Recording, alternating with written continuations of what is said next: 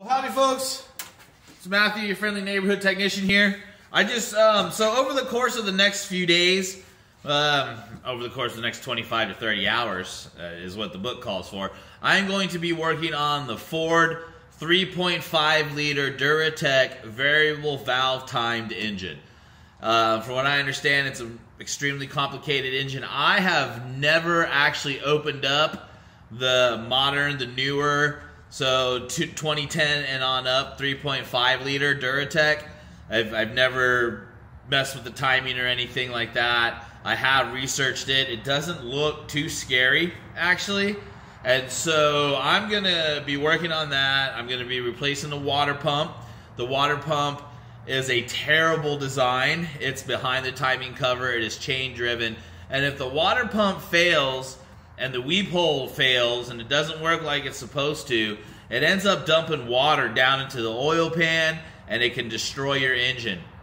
I've seen and read reports where this happens on the Ford 3.5 liter Duratec engine anywhere between 80 to 120,000 miles. This engine has 127,000 miles and it's been low on coolant for a few months. Nobody can figure out where the coolant's going, so we're going to we're going to go in there and we're going to go ahead and fix the water pump. Also, the other day, um, there was a report that upon startup, there was a growling, kind of a grinding sound coming out of the timing area. I suspect that's going to be a timing tensioner. So either A, it's time to get rid of the car, or B, let's put some money into it, let's put some heavy labor into it, and let's get it fixed up.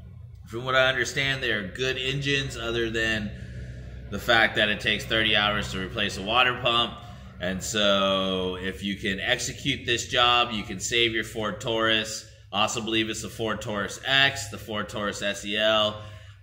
Um, I'm going to take a guess. I think I remember reading something that uh, this 3.5 liter V6 Duratec is also in the Ford Edge and a few other uh, Ford models. So, so it's going to be a long job. Uh, it's going to be a multi part series, and I'm going to do my best to keep it clean for you, keep it simple, and show you a, really good step by step process. So stay tuned, keep watching, and over the course of the next few days, I'll be posting videos. All right, guys.